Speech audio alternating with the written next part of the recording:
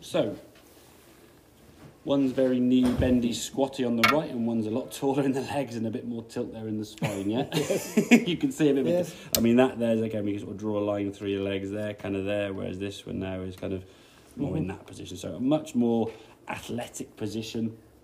You're able to move more effectively, which is the thing we're looking at in the swing. And again, being more tilted over the ball there, we can reach the ground. Okay. Potentially, we could have a smidgen more, but I think at the moment now it feels probably quite extreme anyway. That spine angle there, what we're looking for, eh, to be fair, roughly sort of 90 degrees. You're not far away in fairness, to be fair. Now, as we said, when you were hitting the, the ball before, you'd either hit the ground behind the golf ball or miss the ground completely. Because which is the worst one, okay? If I hit the ground early in the winter, I'm going to hit the ground heavy and the ball goes nowhere. So I'll probably play thin shots in the winter. Yeah. Then come the summer when the ground gets a bit firmer, okay, the ground around the ball's probably not a bad thing. The club might bounce the golf ball. Mm. If I do it too much though, with a shallow head three wood and stuff, then the top shots start Yeah. coming in. So the feeling for you now, as I said, is moving yourself to target, getting your body to move more effectively as you go through. Takeover in the most cases is pretty good, okay? At the top of the backswing here now, nothing's really changing there now in a decent spot there now. It's now movement to the left. And now, although we can't see you from this position moving left, I just want to show you the finished position compared to each other. Look at that right foot hmm.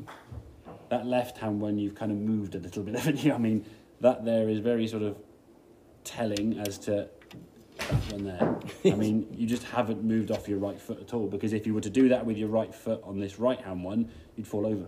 So your brain just wouldn't let you do it. So the right, if the weight is hanging back, and again, this left, the right hand one, your club gets to about there. Doesn't it get above your head? Look where your hands are on the left hand one. Hmm. No head down, no hanging back, no top, no thin, and able to move the body more effectively.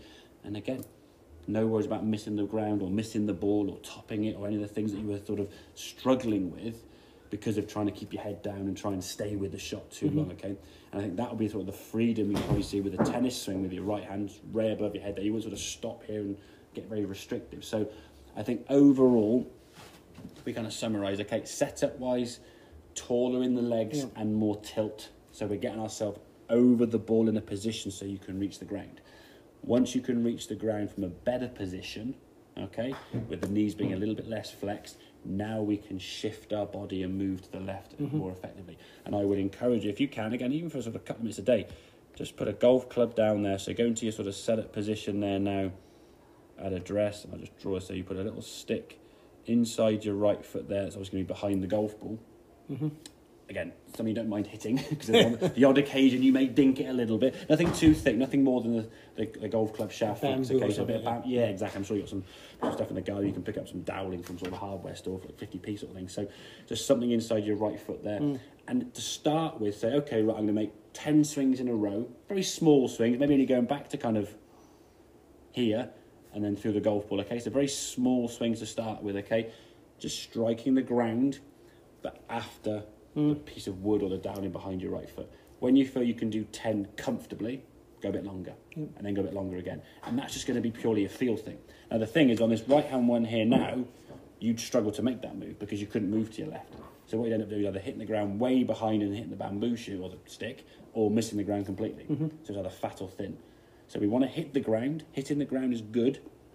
This is for all shots, okay? Chipping, pitching, bunker shots, especially not so much driving with the club still, once you sort of brushing the ground a little bit, okay? But every shot off the ground, fairway shots, second shots, third shots, four, whatever club in the bag, you want to be striking the ground with some kind of slightly downward angle, mm-hmm. okay? If we're leaning back or keeping our head down and swinging up, you're just basically top spinning a lot of shots. So you either top them on the ground, the ball's sat in a nice fluffy lie in the grass, you might get away with it a little bit, you might get up in the air nicely.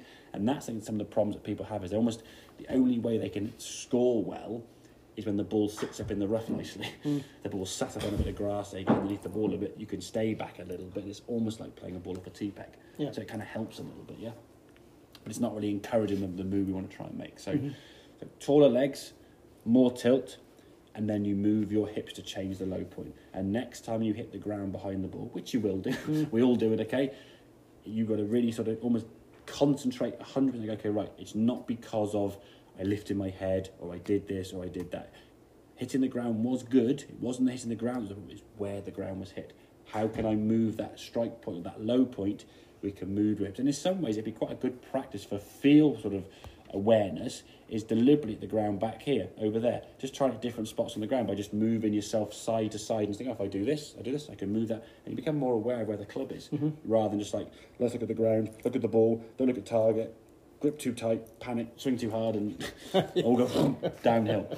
Okay? Okay. Does that kind of then make some sense Yep, on that? So. I'd work on that. And the um, same principle for the longer clubs. Yeah, you won't be quite so much tilted because the club's going to be a little bit longer. Yes. But the shorter clubs, you will be a little bit more tilted because the club will be a little bit shorter.